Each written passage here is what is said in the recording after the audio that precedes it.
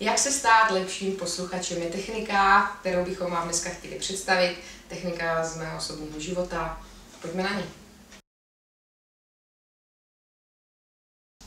Často se nám stává, nebo mě osobně, že mě je vytýkáno, že nevnímám.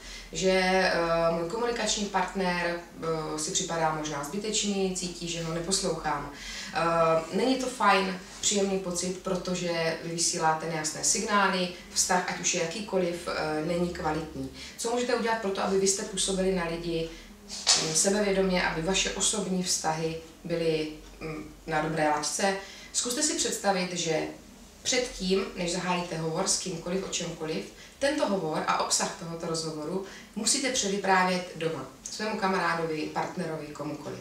V tu chvíli vy zbystříte, jste v tuto chvíli naprosto bdělí, vaše otázky, které následně v tom rozhovoru kladete, mají proud a týkají se toho člověka samotného. Vy v tuto chvíli podprahově vysíláte signály, že máte zájem o toho partnera. Výborná věc. Pokud se vám totiž podaří být bdělí za co nejvíce okolností v každé chvíli, eh, přijdete na to, že kvalita vašeho života se mnohonásobně zlepšuje, stejně tak jako vaše vztahy. A nemusíte potom si kupovat 21. knihu o pozitivním myšlení nebo o tom, jak si přát a jak tvořit štěstí, protože najednou zjistíte, že to štěstí se děje v tom okamžiku. Mějte se krásně, mějte se rádi a děkujeme.